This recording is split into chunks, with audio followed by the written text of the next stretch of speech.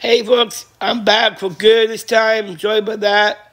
I'm here today. I'm tasting a drink for you guys today. You know the candy you, you eat, those little square ones called Starbursts, is Starburst, remember those candy? Yeah. I saw in Walmart two, days, two days ago. I heard them have a drink called Ice, smoking mean ice. Today, I'm testing it out for you and show you the rating for it. Tell you the rating for it. Here it is. See right here? Yeah. Love the sound. I'm going to taste it now.